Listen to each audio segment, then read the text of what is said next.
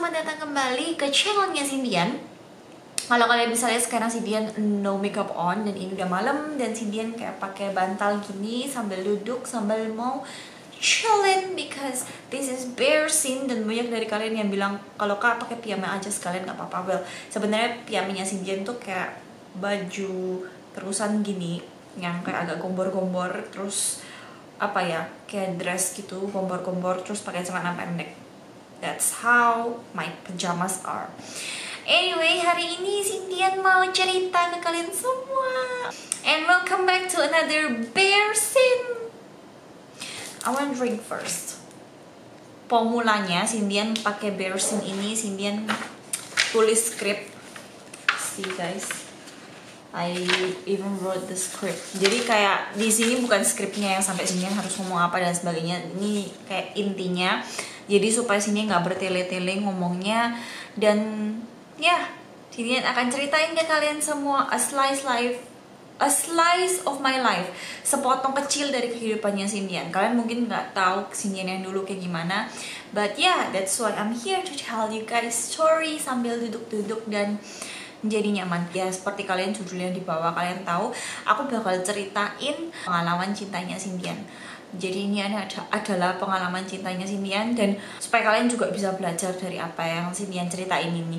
Oke jadi kita mulai aja mbak ceritain soalnya ini lumayan panjang sih kalau tak ceritai. Jadi ini bukan salah satu first love Sindian tapi ini adalah salah satu dari kehidupan cinta sing Sindian itu benar-benar paling berkesan lah buat aku. Ya dan kembali lagi Sindian mau bilang kalau ini adalah cerita pada saat Sindian kelas 3 SMP jadi ya kalian jangan komentar yang apa-apa. Soal itu anak ambabil zaman dulu anak cabe-cabean Sindian cabe-cabean zaman dulu yang mungkin nggak ngerti harus ngomong apa dan harus bertindak seperti apa. Tapi ya itu sudah terjadi. Dan ini adalah pengalaman yang Sindian bagikan karena Sindian senang. Oke jadi aku wis campur-campur nggak sih ngomongin aku wis kayak ngomong aku tapi moro-moro balik Sindian terus mari gitu ngomong aku lagi bismillah oke. Okay, jadi aku mau cerita dulu tuh pas aku kelas 3 SMP lulusan kelulusan itu kan libur dari SMP ke SMA itu panjang pol. Kayak biasanya kita tuh mek dua minggu apa satu minggu setengah libur untuk tiap naik kelas itu biasanya segitu. Kalau ini karena lulus dan ganti SM ke ke, ke tingkat selanjutnya yaitu SMA jadi libur itu tiga minggu kayak gitu loh. Nah selama tiga minggu ini ada satu temannya Sintian yang harus Sintian kenalkan ke kalian semua yaitu namanya Pam Pam dan ada adiknya juga yaitu Yoka namanya Yoka. Dan panggilannya itu namanya tuh sebenarnya Pamela sama Yoka ya. Tapi biasanya sini panggilnya Pam Pam dan Yo Yoka Yo Yo. Ini adalah sahabat baiknya Sintian dan apa ya udah udah bukan sahabat baik lagi sih kayak deket banget dan kayak kita tuh nek mau pergi ya wes pergi kayak temen deket sing wes bener-bener klop lah gitu. Nah pam pam ini tuh waktu itu ngajakin Sindian melok camping kayak gitu loh. Nah jadi soalnya Sindian tuh nanti bakal bingung-bingung sendiri soalnya nggak campur-campur. Jadi Sindian pakai bahasa Indonesia aja ya. Jadi intinya adalah kapan lalu tuh camping gitu kan. Terus campingnya itu adalah camping di luar kota tapi masih di Jawa Timur, campingnya di luar kota dan itu se-Indonesia kayak gitu. Campingnya tuh se-Indonesia. Jadi kayak orang-orang dari Bali, Jakarta, Makassar, ada yang dari Aceh, ada yang dari Medan juga itu kayak pokoknya camping Katolik gitu lah karena sini agamanya Katolik kita ikutan camping Katolik itu dan campingnya tuh kayak kita dikumpulin di satu tempat dan kita bakalan selama semingguan kita bakal di sana untuk benar-benar mengubah apa ya kayak rohaninya kita. Intinya kita supaya kita dapat pencerahan dari yang di atas. Kayak gitu. Sehingga nggak bakal cerita tentang rohani rohani jadi tenang aja guys. Uh, dan itu tuh camping itu tuh diikutin hampir dari seribu orang lebih. Jadi kayak setiap tahunnya itu semakin naik dan semakin banyak pengunjungnya. Kayak pesertanya tuh semakin banyak. Dan kebetulan itu adalah tahun pertamanya Cynthia dan pertama kali untuk ikut di camping itu tersebut Nah, sebenarnya sih nggak ada kepikiran sih kayak buat bakal ketemu pacar atau bakal ketemu calon pacar atau bakal ketemu gebetan nggak kepikiran. Jadi yang penting adalah si Dian bebas, udah nggak dibully lagi pas SMP dan apa ya kayak mungkin bakal ketemu teman-teman baru juga. Terus habis itu mungkin bisa jadi pengalaman yang menarik juga buat Sindian dan nggak ada salahnya juga karena saya seminggu Sindian ngabisin libur panjangnya Sindian untuk camping. Nah, terus abis itu Sindian akan mengenalkan kalian ke my kayaknya gebetan deh belum jadian soalnya nggak pernah jadian. Gebetan namanya kita sebut saja Sung Joong Ki karena dia gantengnya kayak Joong Ki. Jadi sini akan panggil Sung Joong Ki alias Joong Ki. Ya. Si Joong Ki ini adalah crush gebetannya Sindian yang nanti akan berada menjadi pemeran utama di dalam cerita ini Uh, waktu itu Sindian ketemu sama si Jungki ini itu pada saat Sindian pemeriksaan. Dan waktu itu pas diperiksa itu lebih tepatnya periksa tasi tapi waktu itu nggak ada nggak ada yang sampai kayak oh ganteng banget. Nggak ada sama sekali. Nggak ada. Jadi kayak cuman oh ya udah kakak panitia ya udah biasa. Kemudian uh, dari tempat pemeriksaan itu kita akan diarahin untuk ke kamarnya kita masing-masing. Dan kita dikasih keplek sebentar. Kita literally dikasih keplek dan kepleknya itu bentuknya panjang kayak gini persegi panjang kayak gini kotak kayak gini. Dan uh, sini nggak bisa nulis panjang-panjang. Jadi intinya adalah di bagian depan dari keplek. Keplek itu warnanya tiap tahun sama terus. Kalau nggak salah warnanya orange dan itu kayak dipakai dikalungkan gitu ke kita. Jadi kita harus selalu pakai kepleknya. Keplek ini berisi data pribadinya kita kayak nama terus alamatnya kita sama kayaknya kalau nggak salah nomor HP-nya kita gitu loh. Nomor HP atau nomor HP orang yang bisa dihubungin. Terus abis itu sama di sini tuh ada tulisannya sini tulis di sini B karena ada tulisannya L dan B. B itu baru alias baru pertama kali camping. Kalau L itu kayak udah lama alias sudah kedua kali misalnya atau ketiga kali camping. Terus yang di belakang ini adalah kayak garis-garis gitu nggak jelas ini yang bikin sini ini cuma jadi denah aja supaya kayak penggambaran kalian. Uh, ini itu di belakang itu adalah kotak absensi makan.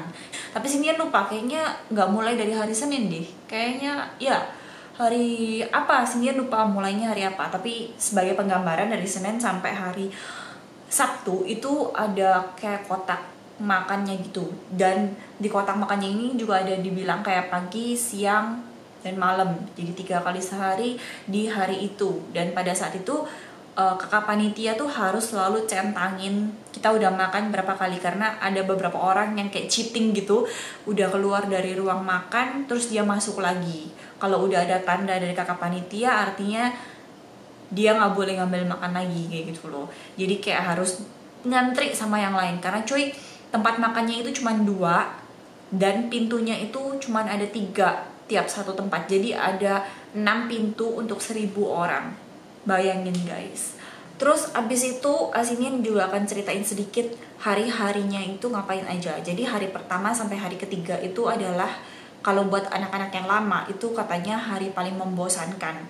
Karena tiga hari ini adalah hari di mana uh, isinya itu cuma materi-materi dari setiap suster yang berbeda. Jadi materinya itu tentang untuk menambah pengetahuan spiritualnya kita. Ya pengetahuan rohaninya kita. Jadi banyak kan suster presentasi kayak gitu-gitu. Jadi benar-benar bosenin banget. Kita ini bakal bermulai di hari ketiga. Sini anak-anak langsung skip ke hari yang ketiga.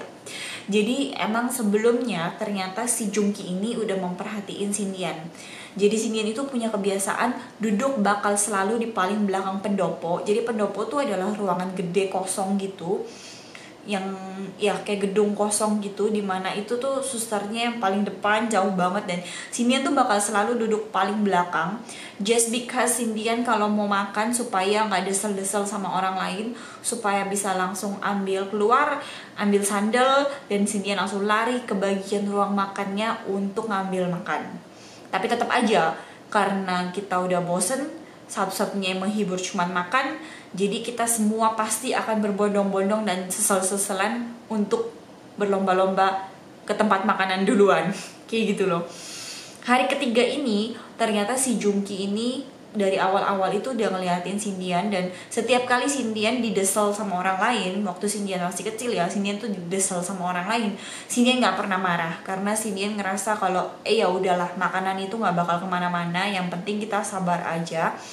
Uh, apa ya toh maksudnya kita udah di depan antrian gitu loh. Kita tuh selalu Sindian tuh selalu di depan antrian tapi selalu dideselin sama orang lain. Alias kayak itu datangnya tuh beneran kayak ambil sembako gitu loh guys kayak geruduk-gerudukan gitu loh. Dan kebetulan waktu itu Sintian ngomong kayak gitu sama temannya Sintian itu ada si Jungki ini. Nah si Jungki ini ternyata karena itu dia kayak sedikit mungkin kalau salah Sindian nggak tahu lagi. Tapi menurutnya Sindian karena itu dia jadi kayak tertarik sama Sindian kayak gitu loh.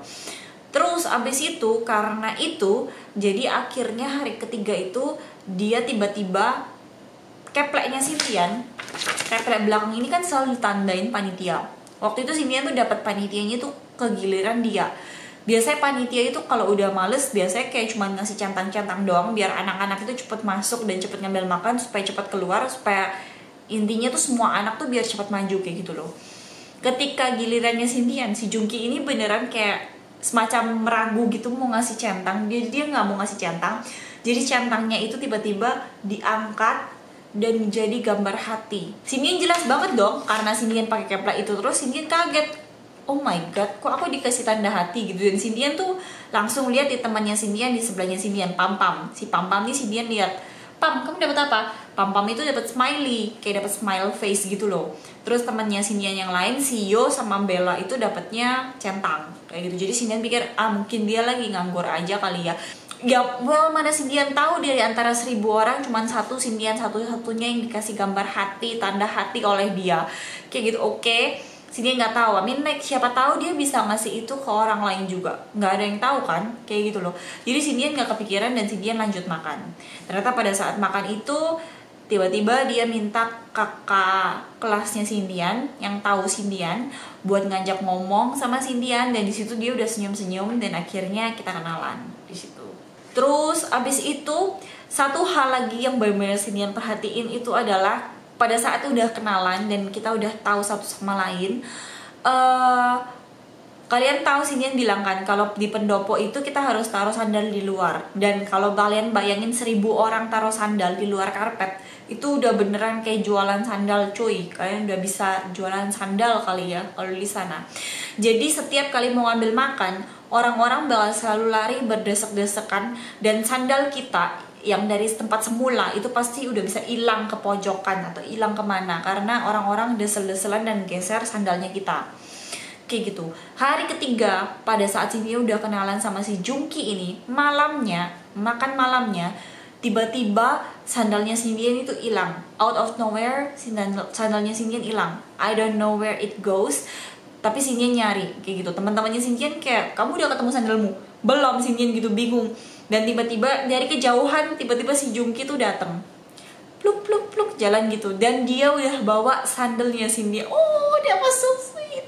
I, menurutnya Cindy itu so sweet banget loh guys buat anak SMP yang ngelakuin itu buat ya buat anak remaja yang ngelakuin itu ke Cindy they was so sweet that was the sweetest thing. Menurutnya Cindy itu masih so sweet sih sampai sekarang. Jadi dia udah bener-bener siapin sandal itu sandal itu tuh udah disiapin dan dia udah pegang duluan. Jadi selama tiga hari pertama dia selalu merhatiin sandalnya Sindian itu yang mana. Maaf ya. Ini persis kayak gini dan ini Sindian punya banyak di rumah sih sebenarnya. Ya maaf agak agak agak gross. That's one. Jadi bentuknya kayak gitu ada pita pinknya. Dan dan karena itulah dia kayak inget gitu oh pokoknya sandalnya Sindian itu yang ada pita pinknya. Jadi dia udah bener-bener siapin dan dia udah pegang sandal itu pada hari ketiga sebelum makan malam dia udah pegang. Tiba-tiba dia datang gitu dan dia bilang kalau aku tahu ini sandal kamu jadi aku benar sebelum anak-anak lain ambil sandalnya aku udah nyiapin sandal ini buat kamu. Gitu. Oh that is so sweet guys. Beneran itu so sweet Paul sih so sweet Paul Kesinian benar-benar gak kepikiran kalau seseorang bisa melakukan hal yang so sweet buat Sinian. Itu untuk pertama kalinya seseorang melakukan hal yang so sweet itu ke Sinian. Uh, sandalnya Sinian diambilin terus habis itu dikasih terus habis itu setelah dia ngasih ini ke Sintian dia bilang kalau aku harus jaga pintu di depan gitu ternyata dia jaga pintu di depan di mana Sintian datang dengan kepleknya Sintian lagi dan yang seperti kalian bayangkan ya ada gambar hati di situ lagi dan Sintian satu-satunya orang yang ternyata dapat yang setelah Sintian sadarin kayak gitu. Sinian nyadarin kalau ternyata Sinian satu-satunya yang dapat. Karena setelah itu teman-temannya Sinian tuh pada dapat centang semua. Nggak ada yang dapat gambar hati kayak Sinian yang selebay itu. Kita lanjut ke hari yang kedua keempat. Hari yang keempat. Nah Sinian harus bilang kalau misalnya si Jungki ini itu merupakan salah satu orang idaman. Cukup cowok idaman di antara kakak-kakak panitia gitu loh. Karena banyak banget kakak-kakak panitia. Jadi mereka kayak waktu itu tuh kayak namanya anak remaja cabe-cabean ya. Kita bakal plotting cowok ganteng dan cewek cantik. Kakak panitia yang ganteng dan kakak panitia yang cantik kayak gitu. Dan salah satu yang benar-benar dikejar-kejar itu adalah si Jungki ini. Dia benar-benar kayak dikagumin sama semua orang. Kayak teman kamarnya Sindian. Di kamarnya Sindian tuh isinya tuh 9 orang sembilan sembilannya well nggak termasuk sama Pam Pam dan Yo dan dan Bella ya. Lima orang lainnya itu fans berat sama si Jungki ini. Karena dia ngerasa kalau misalnya si Jungki itu katanya ganteng banget. Well sebenarnya emang ganteng sih makanya Sindian kasih nama Sung Jungki. Hari keempat ini itu adalah salah satu hari dan momen terso sweet juga di antara hari-hari camping itu. Jadi hari keempat, hari kelima, dan hari keenam itu hari keenam udah hari terakhir hari keempat ini itu kita seperti biasa pagi dan siangnya dia selalu nyediain sandal buat Sindian. Jadi sandalnya Sindian itu selalu diambil dan disisihin sama dia. Setiap kali mau makan siang dan makan pagi dia selalu sisihin kayak gitu. Sampai pada sorenya itu kita ada doa yang namanya doa Goa Maria. Jadi doa persembahan untuk Bunda Maria. Kita ke goanya dan kita duduk di uh, teater itu jadi duduknya itu kayak teater cuman duduknya itu dari batu jadi dingin banget bokongnya Sindian tuh bisa dingin banget. Dan Sindian itu duduk di kursi keempat dari depan. Karena waktu itu Sindian duduknya paling belakang seperti yang Sindian bilang selalu duduknya paling belakang karena mau makan mau acara apa jadi gam lebih gampang keluarnya kayak gitu loh. Lebih gampang keluar dari pendopo itu dekat dengan pintu keluar oleh karena itu Sindian dapat duduknya yang cukup yang depan-depan alias yang pertama-pertama kayak gitu loh. Nah, Sindian itu nggak nyadar kalau ternyata duduknya Sindian ini uh, paling depan ini ternyata adalah gugusan dan kumpulan dari kakak-kakak panitia semua yang lagi nggak bertugas. Ya bangku yang paling pertama itu diduduki kakak panitia, kedua, ketiga, dan keempat ini udah mulai kayak kita pesertanya kayak gitu loh. Jadi Sindian duduk di kursi keempat guys. Ingat ya, ini ini satu dua tiga empat. Nah sini akan andaikan aja kalian bayangkan aja seperti ini. Ini kayak bentuknya kayak tangga anggap aja kayak gitu ya. Nah pada saat itu itu kita akan mempersembahkan doa untuk Bunda Maria dan ada satu simbolik yang dilakukan tiap tahun. Simboliknya itu adalah ngasih bunga mawar kepada Bunda Maria kayak gitu loh. Dan bunga mawarnya ini karena nggak banyak obviously kita nggak kayaknya juga nggak mungkin kalau mem memproduksi seribu bunga mawar. Jadi bunga mawarnya itu itu kita akan uh, apa ya dari orang yang paling depan itu akan ngasih ke belakangnya belakangnya belakangnya sampai di kursi paling belakang. Ya anak yang di paling belakang ini akan maju dan ngasih. Jadi intinya adalah sebagai simbolis kalau kita udah pernah pegang bunganya ini supaya intinya kita menyampaikan hatinya kita kepada Bunda Maria. Intinya kayak gitu. Ini so sweetnya ini so sweetnya guys tiba-tiba pada saat bunga mawar itu harusnya dikasih ke anak yang duduknya paling depan which is baris kedua karena baris pertama kan kakak panitia kan. Baris kedua ternyata kakak-kakak panitia tuh udah banyak yang tahu kalau si Jungki ini senang sama Sindian. Jadi mereka itu kayak udah eh sini aja bunganya buat aku kan belakangnya aku kan Sindian nih belakangku Sindian nih dia bilang gitu sama Jungkinya si Jungki dengan PD-nya out of nowhere di depan seribu orang guys. Di depan seribu orang literally. Dia maju ke kursi keempat di mana Sintian duduk. Jadi dia skip dua anak kursi ini yang kasihan nggak pegang bunga akhirnya. Dia langsung skip dan dia langsung kasih ke Sintian bunganya itu. Jadi bunga mawar itu literally dia naik dan ngelewatin anak-anak lain dan dia ngasih di depannya Sintian sambil dia senyum gitu gitu ah. Bola guys. Nggak tahu lah aku benar-benar speechless waktu itu. Ini wajahnya Cynthia sekarang udah masih merah banget. Cynthia masih inget banget momennya. Dan di mana tiba-tiba seluruh anak-anak yang ada di sekitarnya Cynthia langsung teriak cie! Gitu. Dan Cynthia nggak bisa ngomong apa-apa. I don't speak a thing. Sinian nggak ngomong apa pun. Sinian cuman kayak senyum sambil diam sambil mukanya merah gitu karena kayak waktu dikasih itu kayak Sinian masih agak speechless gitu loh. Langsung megang bunganya dan kayak gitu. Kayak something boiling in my face gitu. Oh, it is so sweet. Di depannya seribu orang literally guys. Seribu orang lebih. Yang dikasih itu dan semua anak-anak yang di samping itu tiba-tiba langsung ngeliatin Cindy gini dan mereka langsung gosipin oh itu loh ceweknya ternyata yang disukai sama Jungki. Itu loh ceweknya ternyata yang disukai Jul. Dan itu kayak ada beberapa yang sini denger itu kayak gede banget suaranya yang which is mereka lebay banget. Dan well sini juga nggak bisa bilang mereka lebay sih karena emang posisinya kayak gitu nggak mungkin kita nggak digosipin. Ah, was so sweet. Dan kakak-kakak panitia yang lain sontak langsung senyum-senyum dan langsung gangguin si Jungki ini kayak gitu. Si Jungki dengan malunya tuh kayak ah gitu. Dia kayak gitu. Dan dia juga kayak malu banget. Jadi sini tuh gak bisa ngapa-ngapain selain senyum dan ngeliatin dia dalam waktu yang cukup lama. Jadi sini kayak orang freak yang kayak gitu. I am so thrilled. Sini yang beneran gak tahu harus berbuat apa. Jadi waktu itu sini cuma diem shy. Terus habis itu Sinian kayak gitu. Teman-temannya Sinian tuh udah pada ngalangin Sinian karena kan urutannya kalau Sinian udah dapet Sinian harus ngasih ke anak yang di belakangnya Sinian sampai ke kursi yang paling belakang. Teman-temannya Sinian tuh pada ngalangin Sinian semua gak gak nggak usah dikasih itu buat kamu kok sini itu buat kamu kayak gitu. Gak usah dikasih ke yang lain itu buat kamu itu buat kamu gitu. Anak-anak teman-temannya Sinian tuh udah pada kayak teriak-teriak gitu karena itu kebetulan karena udah mulai deket sama teman-teman kamarnya Sinian teman-teman kamar kita duduknya sederetan gitu. Akhirnya kita kayak Sindian sungkan lah ya masa Sindian yang harus maju ke depan gitu. Jadi Sindian kasih ke anak di belakangnya Sindian. Meskipun Sindian nggak bisa melupakan momen itu sama sekali. Sindian masih bisa benar-benar capturing that moment right now. Sindian setelah itu yang Sindian pikirin itu adalah gimana cara membalas so sweet yang dia lakukan itu. I mean like obviously di depan semua orang dia ngelakuin itu pada saat semua orang itu seneng sama dia dan apa ya kayak fancy dia juga kayak senang sama dia juga karena dia ganteng kayak gitu loh. Um, pada saat itu kita dari gua kita harus kembali ke pendopo karena ada yang namanya doa pencurahan roh kudus. Oh, sini nggak bisa ngejelasin jelas pokoknya ada doa gitu kayak semacam doa gitu doanya itu lebih intens aja kayak gitu. Jadi pas doa itu selesai intinya udah selesai doanya biasanya banyak anak-anak yang masih kayak di sana untuk mutusin untuk doa lebih lanjut atau mungkin belum selesai doanya akan dibantu sama suster kayak gitu.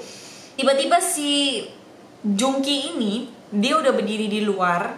Jadi pada saat malam itu biasanya kalau udah selesai doa pencurahan kita bakal dikasih kayak lembaran kertas lembaran kertas doa.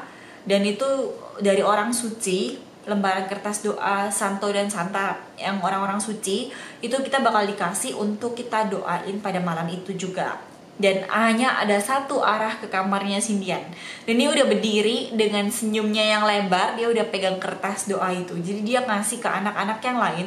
Sindian karena udah tahu dikasih bunga mawar ya pasti dong Sindian kepengen untuk berbicara lebih lanjut sama dia. Jadi pas dia ngasih kertas ini dia kayak ngasih kertas gitu kan bingung gitu kan. Ngasih gitu dan awkward banget. Sindian juga nggak mau untuk mengakhiri pembicaraan itu. Sindian tanyalah ke dia ini doa apa? Sindian bilang gitu although sebenarnya emang sini nggak tahu gitu loh. Sini dia bilang ini doa apa? Terus dia kayak terbata-bata dan terpaku-paku dan kayak kayak kalian tau lah orang yang salting ya? Dia kayak uh, ini doa santo apa? Sini lupa waktu itu dikasih apa. Ini doa santo ini kamu coba aja doain malam nanti ya. Gitu dia kayak terbata-bata dan it is cute guys it's cute. Dia kayak oh. Ya kalian tau lah orang yang salting kayak gimana itu si dia akhirnya pergi dengan tersenyum-senyum terus dia di belakang itu kayak aduh aduh aduh gitu kayak menyesal gitu karena dia itu salting depannya Sindian ngomong nggak bisa ngomong banyak-banyak ke Sindian juga. Hari yang terakhir satu hari sebelum hari pulang itu adalah hari aneh. Jadi waktu itu Sindian juga tetap sandalnya tetap diambilin dan sebagainya.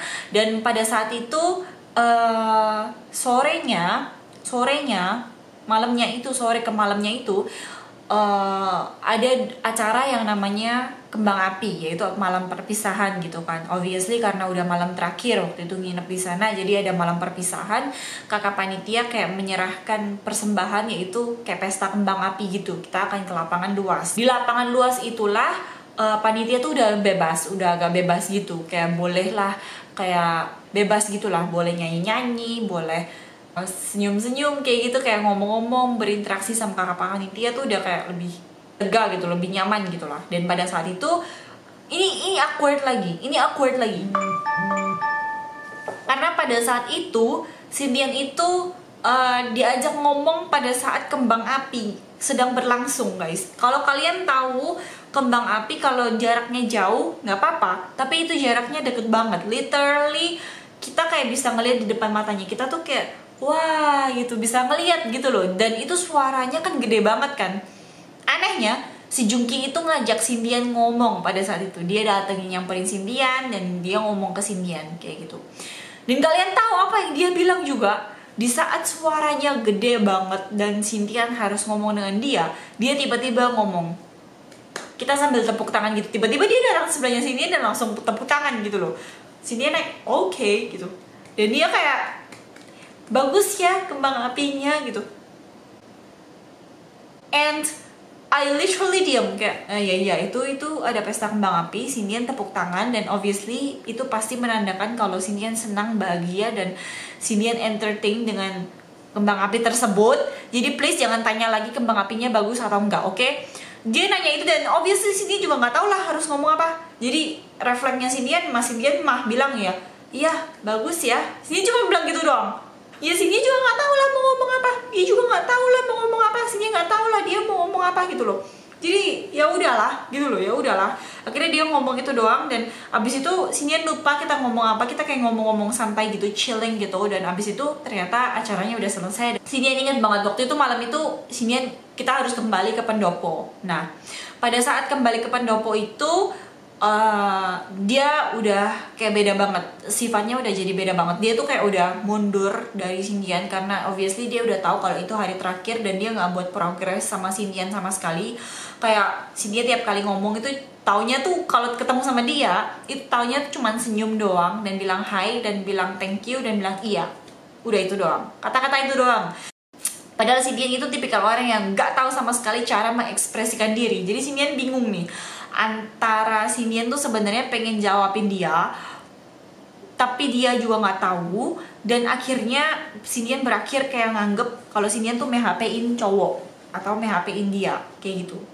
So obviously Sinian harus waktu itu Sinian panik banget karena waktu itu sifatnya udah mulai beda dan pada saat sampai di pendopo Sinian udah ngomong sama teman-temannya Sinian what should I do? Apa yang harus Sinian lakukan untuk membuat dia itu nyadar kalau Sinian itu sebenarnya ngerasain hal yang sama karena sih dia benar-benar tahu kalau misalnya dia tuh sebenarnya punya maksud yang sama dengan apa yang Sindian mau kayak gitu loh. I mean like I like him and he like me also kayak gitu loh. Di akhirnya Sindian mutusin untuk tulis surat cinta kecil nggak berguna yang isinya juga nggak berguna menurut Sindian. Kenapa Sindian sempat nulis itu juga? Sindian tulis di situ, Sindian tulisnya kayak karena Sindian nggak punya pengalaman banyak sama dia karena obviously dia panitia dan harus selalu menjaga keamanan dari acara. Jadi Sindian itu cuman taunya itu suatu yang so sweet adalah dia ngasih bunga mawar ke Sindian, itu hari yang sebelumnya. Sindian tulis di situlah thank you dear Jungki gitu, dear Jungki. Gitu. Thank you ya buat mawarnya. Terus Sindian kasih emo smile yang ada D-nya itu, titik dua D. Dan akhirnya Sindian lipet terus Sindian titipin ke temannya dia. Is that awkward? ya Sinian ngerasa sekarang kenapa Sinian dulu nulisnya kayak gitu? Kenapa nggak Sinian langsung ajak aja dia ngomong untuk ngejelasin how much I fancy him how much I like him so much? Kayak gitu loh. So uh, ya yeah, the point is karena itu udah terjadi akhirnya Sinian kayak ngasih ke temennya itu dan nggak tahu itu sampai atau enggak Sinian juga nggak pernah tahu itu sampai atau enggak ke dianya. Yang penting kayak ya udahlah yang penting udah Sinian dan niatan gitu kan tapi malam itu sandalnya Sinian di pendopo nggak disiapin sama sekali. Dia di situlah malam itu juga Sinian itu jatuh sakit. Eh, nggak uh, sakit yang lebay, lebay banget sih cuman kayak masuk angin gitu loh. Udah dari malam malamnya itu masuk angin. Besoknya itu adalah hari outbound. Hari terakhir kita udah hari outbound. Hari outbound Sindian itu tiba-tiba dia sifatnya berubah lagi 180 derajat dari yang kemarin malam cuek. Tiba-tiba dia dia di baik banget sama Sinyan. Dia benar-benar penasaran karena hari outbound itu di mana hari kita kelompok terus kita nyanyi yel yel gitu. Yel yel tuh kayak apa ya lagu grupnya kita gitu loh. Dan kita udah nyanyi dan Sinyan tuh malu banget karena Sinyan jaim banget. Waktu itu jaim banget jadi Sinyan benar-benar nggak mau gerak jadi Sindian langsung mundur paling belakang terus kayak lo maju duluan lo maju duluan. Karena isinya satu grup itu berapa belas orang. Jadi Sindian juga bisa menghindar dan Sindian di belakang tuh kayak kamu aja. Kamu di depan. Kamu di depan. Aku nggak mau nggak mau gitu. Karena Sindian itu ngelihat tiap kali Sindian mau nyanyi yel yel si Jungki ini datang out of nowhere dan kepengen nonton kelompoknya Sindian buat nyanyi. Harusnya sih Sindian harusnya paling pede ya, tapi Sindian jadi yang paling malu karena lagunya itu nggak banget gitu loh. Dulu tuh lagunya tuh kayak lagu dangdut dicampur lagu apa ya lagu yang lagi booming pada tahun itu lagu yang booming tahun itu nggak tahu waktu itu yang lagi booming kalau nggak salah Sinta Jojo I forgot tapi kayaknya Sinta Jojo waktu itu hal uh, yang lagi booming Sintian lupa. Dan waktu itu Sintian itu ikutan outbound dan karena outbound Sintian pakai sandal jepit kayak sandal jepit tadi sandalnya Sintian copot lah bagian depannya bagian mulutnya itu copot. Dan karena itu Sintian nggak bisa jalan. Dia itu kayak tiba-tiba langsung maju dan langsung nawarin diri ke Sintian. Dia bilang kalau um, boleh nggak pinjam sandal kamu? gitu. Dia ternyata benerin sandalnya Sintian. Sementara anak-anak lain tuh udah kayak pindah pos ke game karena outbound tuh ada game-gamenya pindah pos gitu. Anak-anak udah pada pindah pos dia kayak nemenin Sindian gitu dan dia benerin sandalnya Sindian di situ sini juga trail banget karena dia kayak perhatian banget sama Sindian meskipun sini juga nggak bisa berbuat banyak buat dia tapi dia bisa ngasih something buat Sindian yang selalu lebih banyak. Outbound udah selesai dan pada saat udah selesai itu Sindian itu uh, masuk anginnya yang dari tadi malam biasa itu jadi super luar biasa sekali. Super luar biasa sekali Yes, kenapa? Karena Sindian jadi kayak waktu itu muntah-muntah dan gak enak badan sama sekali dan hampir kena panas. Jadi waktu itu Sindian sakit dan tiba-tiba Sindian nggak tahu out of nowhere dia bisa tahu kalau Sindian itu sakit. Tiba-tiba dia dari kejauhan, dia datang dengan banyak banget manisan coklat. Jadi kayak banyak banget coklat-coklat, ada brownies, ada coklat batangan, ada kue-kuean gitu. Dia ngasih banyak banget dan dia tiba-tiba datang ke depannya Sindian. Dia bilang kalau uh, aku dengar tadi kamu sakit ya. Ini uh, ada makanan dari kakak-kakak panitia yang lain sama dari aku buat kamu buat kamu kayak gitu. Kita nggak bisa ngasih banyak maaf ya gitu. Tapi semoga kamu makannya banyak biar kamu nggak gampang sakit. Dia bilangnya kayak gitu like uh, bisa gak sih nggak so sweet? Bisa gak sih nggak so sweet? Gitu dia so sweet banget oh my god dan karena waktu itu Sindian lagi pegang tolak angin dia langsung maksa Sindian untuk minum tolak angin pada saat itu. Dia bilang kalau e, itu ada tolak angin ya? Kamu belum minum obat ya? Ya udah bentar ya aku ambilin air ya. Pada saat itu itu udah selesai jam makan siang. Udah selesai jam makan siang. Jadi itu adalah jam packing di mana kita harus punya packing baju dan nungguin bis untuk pulang ke tempatnya kita ke kota aslinya kita kayak anak-anak yang lain yang mungkin dari Bali bakal diantar ke bandara buat berangkat dari bandara kayak gitu loh Uh, makanan itu udah nggak ada lagi guys. Udah nggak ada lagi di tempat makanan. Jadi dia lari dari dapur dia pergi dari dari tempat Sindian ketemu dia lari ke dapur ngambilin air hangat pakai gelas warna pink dan dia kasih ke Sindian dan sambil ngeliatin Sindian minum. Dia bilang kalau kamu harus minum obat supaya kamu sembuh intinya adalah seperti itu. Dan akhirnya waktu itu kita pulang. Dan, dan sini akan berhenti di sini dulu guys. Karena baterainya sini juga mau habis. Itu bakal jadi part kedua di bear scene selanjutnya. Kalau kalian penasaran dengan kelanjutan ceritanya, please like video ini, share ke teman-teman kalian semua, dan also subscribe ke channelnya Sinian karena bakal ada 2-3 video setiap minggunya buat kalian semua. Sinian akan ceritain lagi lanjut di video yang selanjutnya. So ya guys, I'm Xinyan. I shall talk to you guys really soon. Bye bye. Mwah.